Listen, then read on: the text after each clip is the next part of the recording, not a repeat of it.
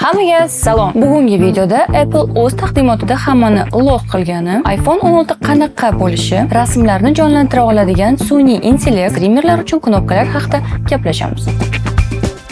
iOS 18 da Apple Intelligence funksiyalari kechiktiriladi. WWDC 24 taqdimotida e'lon qilingan Apple'ning yangi sun'iy intellekt funksiyalari birdaniga paydo bo'lmaydi. Bloomberg jurnalisti Mark Gurman aytishicha, barcha va'da qilingan fishkalar 25-yildagini to'liq kiritiladi. Revolyutsion neyron tarmoqlardan foydalanish imkoni shu yozning oxirigacha faqatgina dasturchilarga test uchun berilar ekan. Oddiy foydalanuvchilar esa yangi funksiyalardan 2025-yildagini foydalana oladi. Agar yana kechiktirilmasa albatta. Agar omadingiz kelsa, AI ning ayrim fishkalarining cheklangan versiyasini ariza topshirib, test sifatida sinab ko'rishingiz mumkin. Nega hammasini bunday qiyinlashtirganini to'g'risi tushunmayapman, balki bunday kuchli algoritmlar qotmay ishlashi uchun super puper serverlar kerakdir. Balki ular o'zlari noldan AI yaratishayotgandir. Agar shunday bo'lsa, ha, bu jarayon ko'p vaqt oladi. Apple birinchi navbatda bildirishnomalarni tahlil qilish va saralash, qisqacha ma'lumotlarni xulosalarini yaratish, shuningdek tasvirlar va gen emojilar funksiyalarini yaratish uchun sun'iy intellekt vositalarini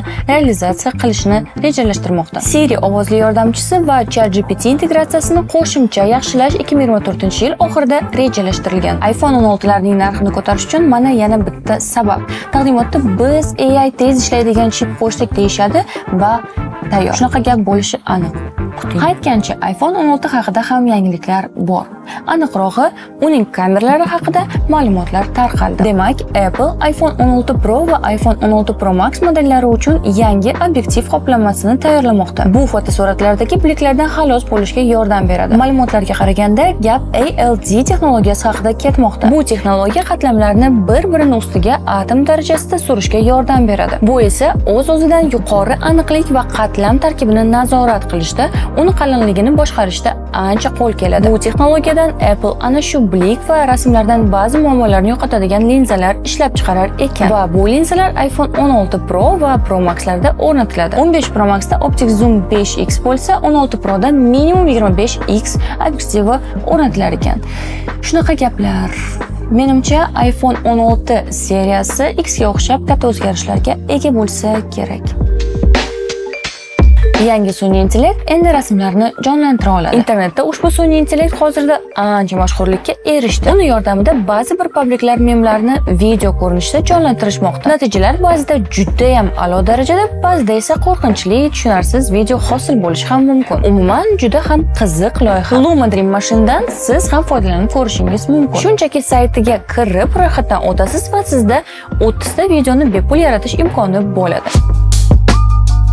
10 iyul kuni Samsungning yangi Galaxy Z Fold Z Flip smartfonlari, Watch 7 va Ultra Smart soatlari, Buds 3 va 3 Pro quloqchinlari 400 dollar turadigan smart uzuk taqdimoti bo'lib o'tdi. Kompaniya ushbu qurilmalarni har yili 10 iyul kuni Parijda bo'lib o'tadigan Galaxy Unpacked prezentatsiyasida taqdim qildi. Yangilangan smartfonlarning dizayni deyarli o'zgarmagan. Galaxy Z Flip 6 katta ekran va orqa tomonda 50 megapikselli asosiy sensorga ega ikkita kameraga ega bo'ldi. Qurilma 3.4 dyumli OLED ekran va 6.7 dyumli buklanadigan ichki ekranga ega. Akkumulyator sig'imi esa 4000 mAhgacha oshirilgan. Z Flip 6 va Galaxy Z Fold 6 ekranini yopganingizda uning buklanadigan joyi ancha yaxshilangan. Bundan tashqari, ularda Snapdragon 8 Gen 3 protsessori va Android 14 ustida qurilgan One UI 611 tizimi o'rnatilgan. Soatlar va batslar esa yanada zamonaviy ko'rinishga keldi. Boshqa aytarli qiziq joyi yo'q. 400 dollarlik uzukni esa Samsung soatlarini to'ldiradigan gadjet desa bo'ladi. Uning vazifasi haroratni va yurak urishini o'lchash,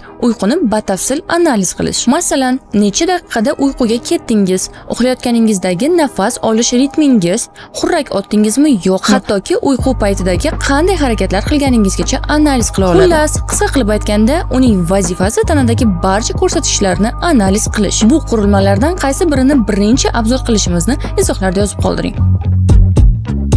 Endi Twitchdagi strimerlar ham YouTube blogerlar kabi knopkalar olishi mumkin. Bilmaganlar uchun, agar YouTube kanalingizda 100 mingta obunachi yig'ilsa, YouTube sizga kumush knopka, million obunachi bo'lsa, oltin knopka sovg'a qiladi. Brilliant, Rubin knopkalari ham bor. Twitch platformasida ham Bleed Purple nomli sovrinlar paydo bo'ldi. Bu haqda Twitchning o'zi xabar berdi. Bleed Purple bu YouTube tugmachalarining analogi. Asosiy farq shundaki, bloger va strimerlar ularni obunachilar soni uchun emas, balki soatlab ko'rish uchun olishadi. Binafsha rang Bleed Purple 5 million soat tomosha qilingan streamerlarga, marmar knopka 50 millionga va xrom knopka 250 million soat tomosha qilingan streamerlarga beriladi. Bularning hammasi streamerlarni qiziqtirish, motivatsiya uyg'otish uchun bo'lsa, qolgan tarafdan raqobatdoshlardan ajralib turish uchun qilingan. Bilsangiz, hozirda Twitchga yana bir ikkita kompaniyalar raqobatdosh bo'lmoqda. Streamerlar olg'a. Xullas, bizda Pakapak Newsdagi yangiliklar hozircha shular.